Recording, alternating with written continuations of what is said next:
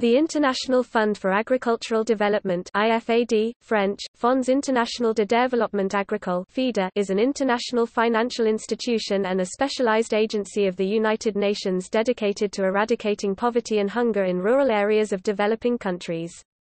It was established as an international financial institution in 1977 through United Nations General Assembly Resolution 32-107 the 15th of December 1977 as one of the major outcomes of the 1974 World Food Conference.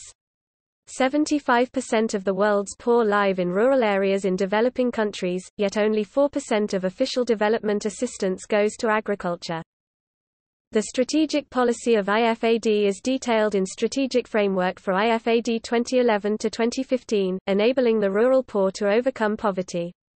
Its headquarters is in Rome, Italy, and is a member of the United Nations Development Group. The president of the IFAD is Gilbert F. Houngbo from Togo, who was elected for a four-year term in 2017.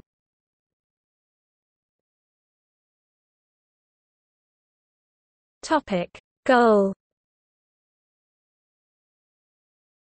IFAD's goal is to empower poor rural men and women in developing countries to achieve higher incomes and improved living.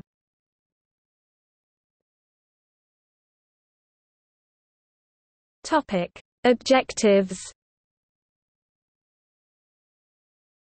IFAD seeks to ensure that poor rural people have better access to, and the skills and organization they need to take advantage of Natural resources, especially secure access to land and water, and improved natural resource management and conservation practices. Improved agricultural technologies and effective production services. A broad range of financial services. Transparent and competitive markets for agricultural inputs and produce. Opportunities for rural off-farm employment and enterprise development. Local and national policy and programming All of IFAD's decisions, on regional, country and thematic strategies, poverty reduction strategies, policy dialogue and development partners, are made with these principles and objectives in mind. As reflected in the strategic framework, IFAD is committed to achieving the Millennium Development Goals, in particular the target to halve the proportion of hungry and extremely poor people by 2015. Underlying these objectives is IFAD's belief that rural poor people must be empowered to lead their own development if poverty is to be eradicated. Poor people must be able to develop and strengthen their own organizations, so they can advance their own interests and dismantle the obstacles that prevent many of them from creating better lives for themselves. They must be able to have a say in the decisions and policies that affect their lives, and they need to strengthen their bargaining power in the marketplace.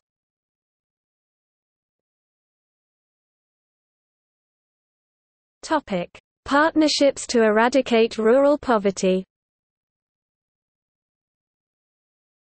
Through loans and grants, IFAD works with governments to develop and finance programs and projects that enable rural poor people to overcome poverty themselves.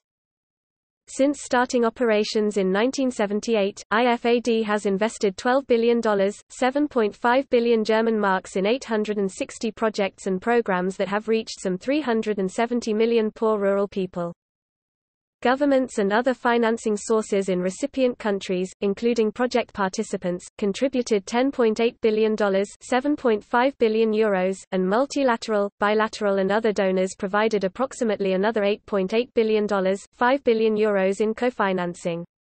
This represents a total investment of about $19.6 billion 15 billion euros.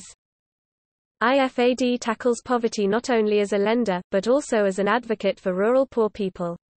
Its multilateral base provides a natural global platform to discuss important policy issues that influence the lives of rural poor people, as well as to draw attention to the centrality of rural development to meeting the Millennium Development Goals.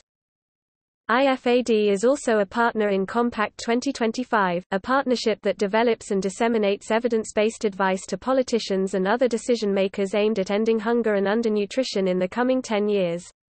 IFAD is represented on the Leadership Council of Compact 2025 by its president. IFAD approved 30 million United States dollars soft loans for fourth phase of the Northeastern Region Community Resource Management Project in India.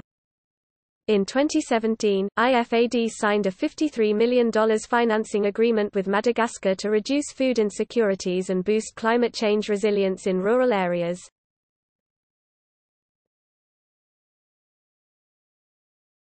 Topic: Membership Membership in IFAD is open to all member states of the United Nations or its specialized agencies or the International Atomic Energy Agency. A state becomes a member of IFAD by ratifying the multilateral treaty known as the Agreement Establishing the International Fund for Agricultural Development. The Governing Council is IFAD's highest decision-making authority, with the member states each represented by a governor and alternate governor. The Council meets annually. The Executive Board, responsible for overseeing the general operations of IFAD and approving loans and grants, is composed of 18 members and 18 alternate members. The President, who serves for a four-year term renewable once, is IFAD's Chief Executive Officer and Chair of the Executive Board. The current, and sixth, President of IFAD is Gilbert F. Houngbo, who was elected for a first four-year term in 2017.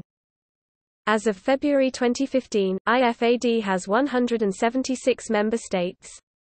This includes 174 UN member states along with the Cook Islands and Niue.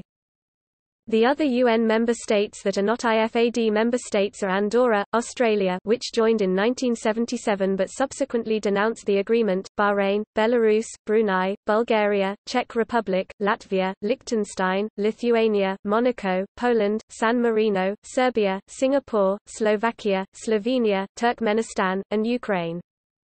The observers are the Holy See and European Union.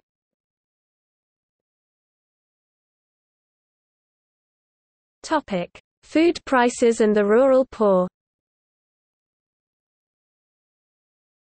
The prices of basic food commodities increased rapidly during the 2007–08 world food price crisis. In only the first quarter of 2008, wheat and maize prices increased by 130% and 30% respectively over 2007 figures. Rice prices, while rising moderately in 2006 and more so in 2007, rose 10% in February 2008 and an additional 10% in March 2008. The threat to food security in developing countries increased in stride.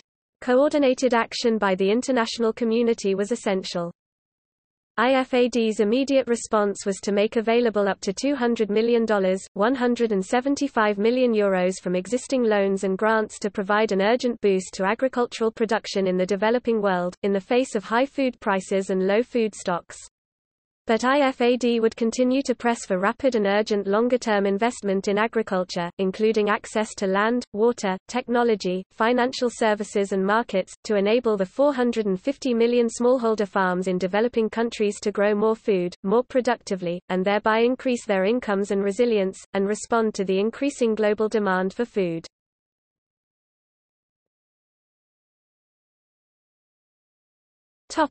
Status of rural poverty Despite improvements over the past 10 years that have lifted more than 350 million rural people out of extreme poverty, global poverty remains a massive and predominantly rural phenomenon with 70% of the developing world's 1.4 billion extremely poor people living in rural areas. IFAD's 2011 Rural Poverty Report demonstrated that during the past decade, the overall rate of extreme poverty in rural areas of developing countries has dropped from 48% to 34%, led by dramatic gains in East Asia. The report also points to the persistence of poverty in rural areas of sub-Saharan Africa and South Asia.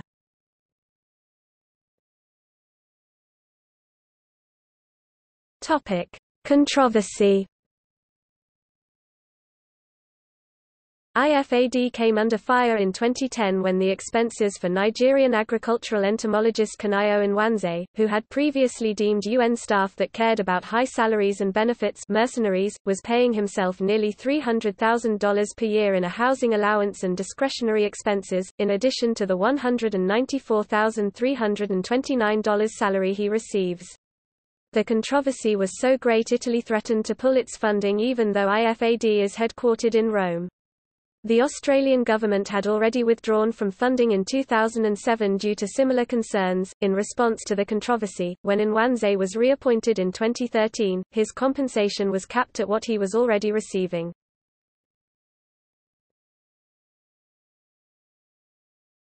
Topic. See also Food security Development Finance Institution PROGETTAPS